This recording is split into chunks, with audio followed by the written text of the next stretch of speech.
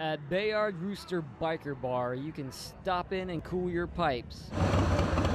You can also sign up to Ride for Somer. We are trying to form the world's longest line of mad bikers. You know, we're coming and it's not okay. We want bikers to, to show support for Diena Thompson and everything she's going through. This is a horrible, horrible thing. In addition to helping organize the bike ride, Laura Evans is actively raising money for Somer's family.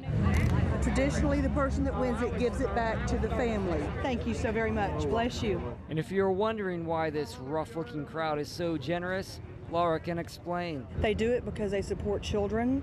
They do it because bikers support the family. It's just something that you know people feel very, very strongly about. It's just messing with children and just having a horrible end like this is just a just a terrible, terrible thing to see. Every biker within any reasonable distance of Jacksonville, please come out.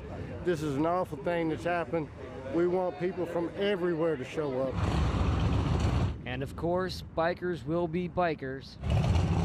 And when someone hurts someone in the biking family, bikers join together and take care of their own. Well, this is about community coming together. Uh, the biker community is a very strong force here in this city, and we do take it very personally when somebody hurts one of our own. And that's pretty much all I got to say about it. In Bayard, Steve Barrios, First Coast News, your news leader.